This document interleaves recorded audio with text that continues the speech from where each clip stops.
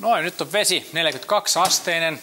Se tarkoittaa sitä, että me leivotaan tänään broileri, sinihomejuusto, pelti, pizza. Eli tuonne uunipellin kokoinen mehukas hyvä pizza. Ja tämän taikinan nyt voi tehdä itse sitten tai ostaa valmiita noita seoksia, jauhoseoksia tai jopa ihan valmiita pizzapohjia. Mutta kerrataan vielä nopeasti. Eli vesi, sen jälkeen mulla on vehnäjauhon joukossa suola ja kuivahiiva, jonka mä kerrallaan lisään tänne joukkoon. Sekoitan ja sitten loppuvaiheessa lisää vielä sinne hyvää oliiviöljyä ja tämän jälkeen liinan alle sitten kohoamaan.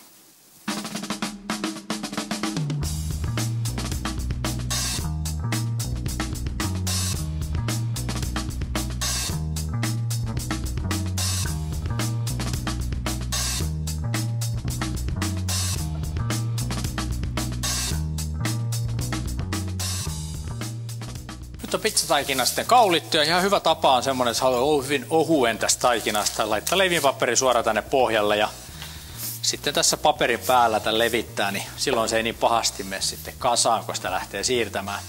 Mä oon jauhelihan ruskistanut, mehän käytetään tänään broilerijauhelihaa ja nyt siirrytäänkin sitten tähän pizzan täyttövaiheeseen. Nyt maustetaan tämä seos. Käytetään tällaista sambal-olekkia, tästä voimakasta chilitahnaa. Tommonen vajaa ruokalusikallinen Saa olla vähän potkua tässä täytteessä. Sitten oregano. Oreganon jälkeen sitten vähän suolaa ja pippuria.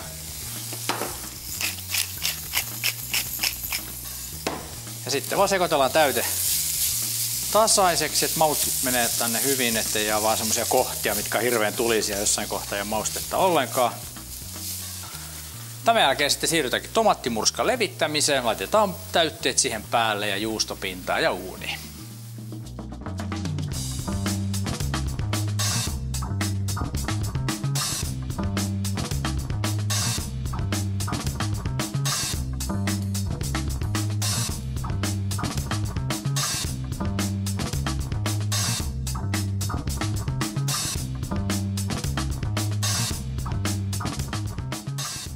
Pizzapoika sai pizzan tehtyä. Nyt laitetaan uuniin 225 noin 15 minuuttia.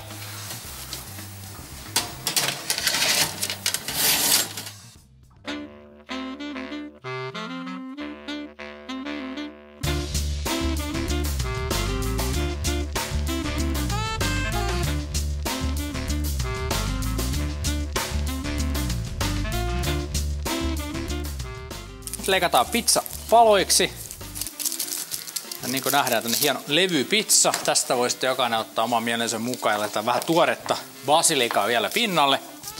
Huomenna lähdetäänkin sitten vähän meksikolaisiin makuihin. Meillä on myöskin makkaraisia mukana. Tällaista gratinoitua salsaa. Nähdään silloin. Moi moi! To be continued.